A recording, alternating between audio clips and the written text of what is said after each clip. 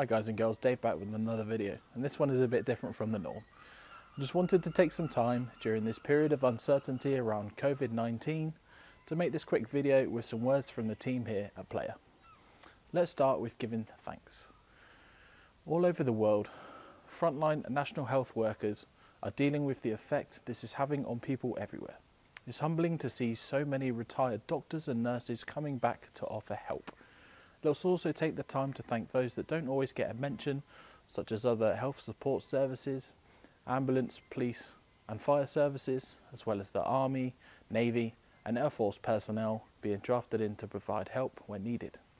Care workers, who are going in to give care to the vulnerable and elderly that need it, and supermarket, corner shop and supply chain workers going above and beyond to keep us fed. Let's not forget funeral staff for maintaining safe practices and enabling families to attend via other methods. And finally, to everyone else doing their part, staying safe at home in isolation from friends and family while not being great is for the best. As the technology media website and YouTube channel, I thought it a good time to give Folding at Home a quick mention too. For those of you that don't know what that is, Folding at Home is a distributed computing project for simulating protein dynamics including the process of protein folding and the movement of proteins implicated in a variety of diseases like cancer, ALS, Parkinson's, Huntington's, influenza and SARS.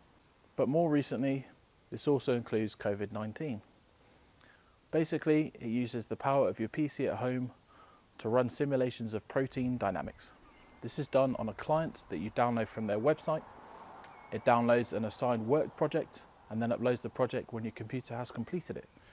If you fancy doing your part, check out the link in the description below.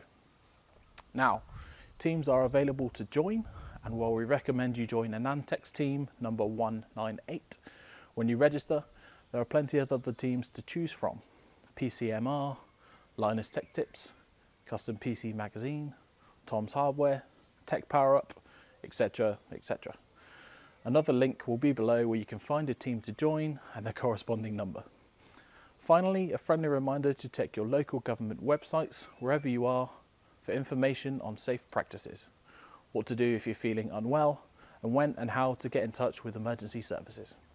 So, whether you're currently working or furloughing at home in isolation, here's to every one of you doing your bit.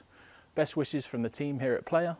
Wherever you are, stay safe, be well, and we'll see you in the next one. Ciao for now.